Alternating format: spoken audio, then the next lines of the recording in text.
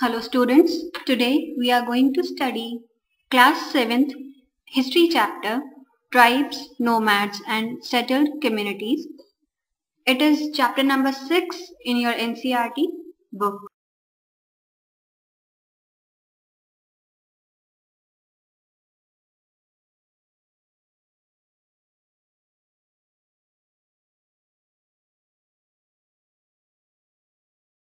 In the previous chapters of class 7th history, we studied about how different kind of kingdoms rose and fell, how uh, the kings enlarged their territories and increased the size of the empire, which brought up a new kind of social system. It was a mixture, an amalgamation of different kind of people pursuing different kind of occupation to maintain a social criteria, a social balance in the society, a division or rather uh, we can call it a kind of a system developed in the regular societies which was known as the Varna system.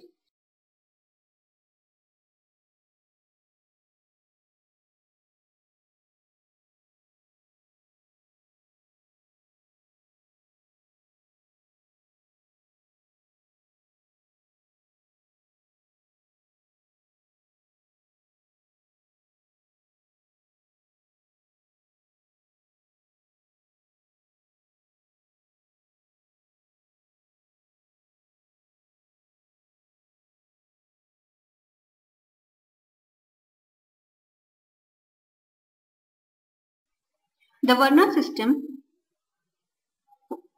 comprised of a division of the society majorly on the basis of the occupation. Uh, it divided the society into four major Varnas.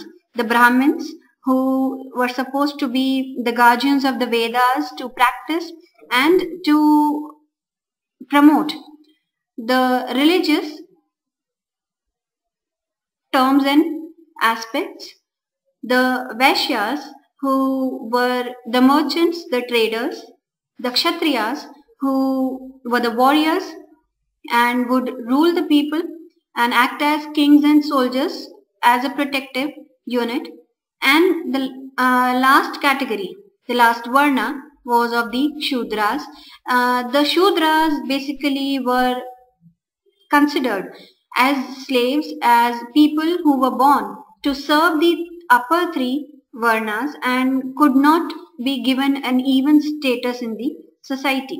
So we see uh, that the varna system was dividing the society into big blocks and uh, gradually this varna which was originally based on occupation became a rigid system. It became a hereditary system that is the occupation became no longer of significance. The person of any varna of any caste if the person is born in that particular varna he was supposed to follow the particular occupation. No matter if he had any interest or had any talent in the respective occupation or not.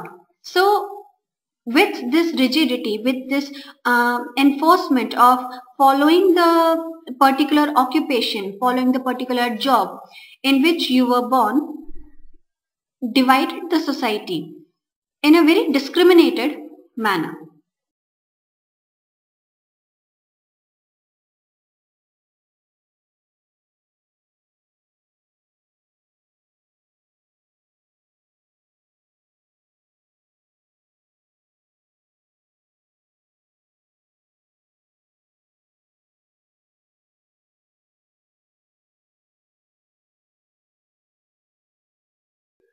Apart from this, the regular so uh, society, there were many other sections of the community as well who were budding outside these big cities and empires. We can divide them majorly into three categories. We can call them tribals, pastoralists and settled communities.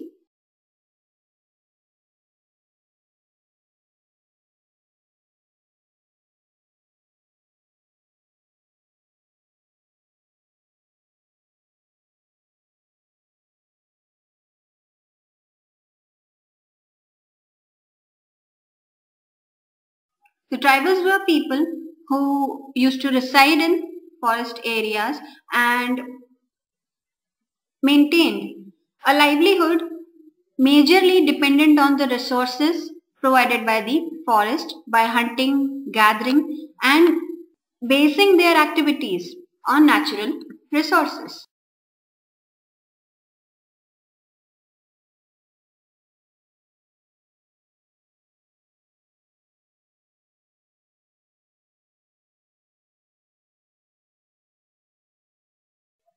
The pastoralists were people who used to move from one area to another area in search of grazing lands or uh, selling the natural resources like uh, agricultural product or herbs or uh, timber or uh, honey.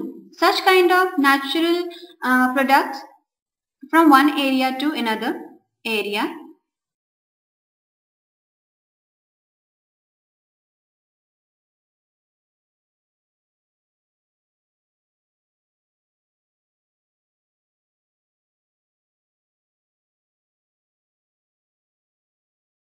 And then lastly, we have the settled communities. These communities, they reside in uh, forest areas only. They were earlier either pastoralists or nomads.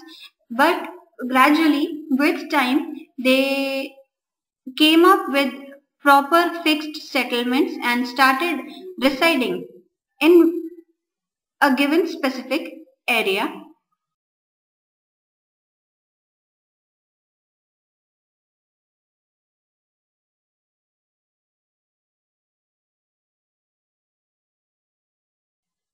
We can take an example of these tribal, pastoralist and settled communities by looking at some common names that emerge in front of us.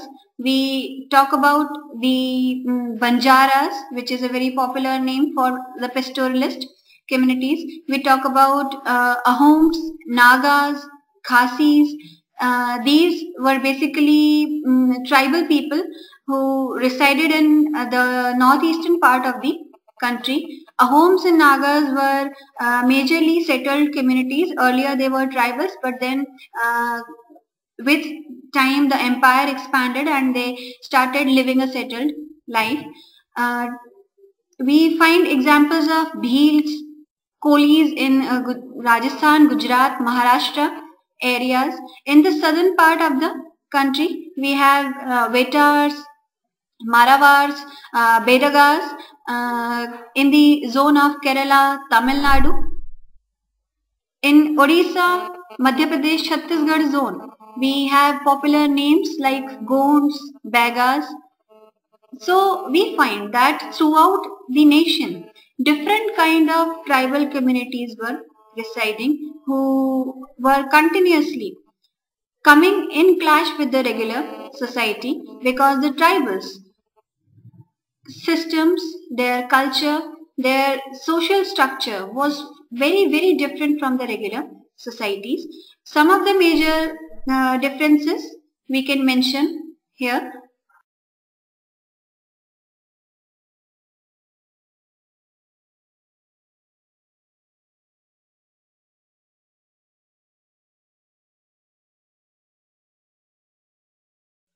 First and foremost, there was no division amongst the people like the Varna system in the regular society. There was no caste system.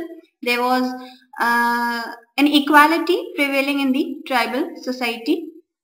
As there was no Varnas in the tribal societies, it made a very significant difference because in the regular Varna system, as I mentioned earlier, the Brahmins were at the topmost position and uh, the rest of the varnas were below them and were supposed to follow whatever Brahmins uh, uh, said. But in the tribal societies, one has to have a talent to become the chief or to be the leader of the uh, tribe. It did not um, come that the chief's son or the leader's son is going to be the leader. So there was no hereditary rule, there was no uh, superiority of any particular uh, section of the tribal society which would make the others look inferior.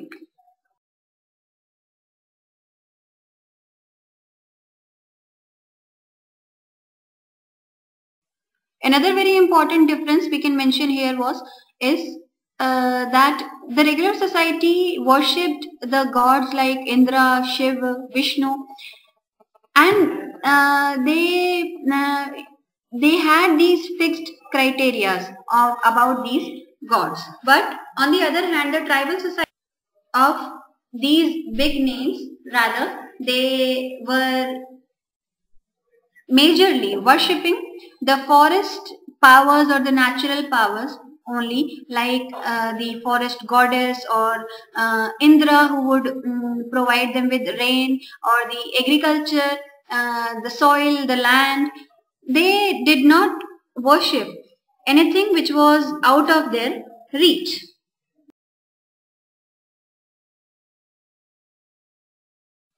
As they were living in forest areas, the, there was as such no economic function that they were uh, following. They were majorly based on barter system and mutual understanding with each other. So uh, the chances of any treachery or the chances of um, any cheating were far less in comparison to the regular society. But all these differences they made on one side very unique. They make the tribal societies very unique but on the other side they also became the reasons for the tribal societies to come in clash with the regular societies. We'll read about these clashes in the next uh, lecture. So this is the beginning of our chapter Tribes, Nomads and Settled Communities.